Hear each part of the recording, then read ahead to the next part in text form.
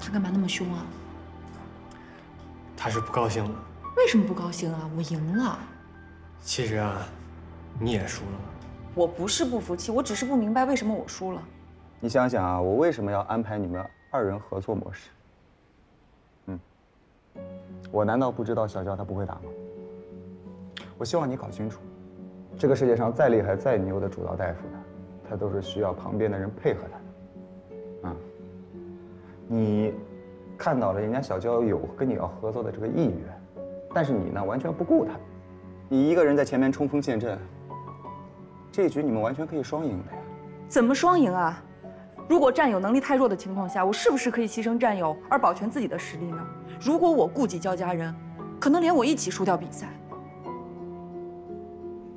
胜负有那么重要吗？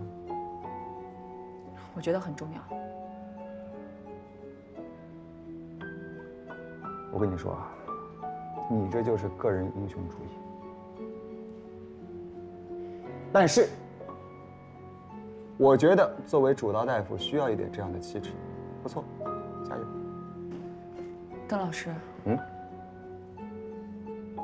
没事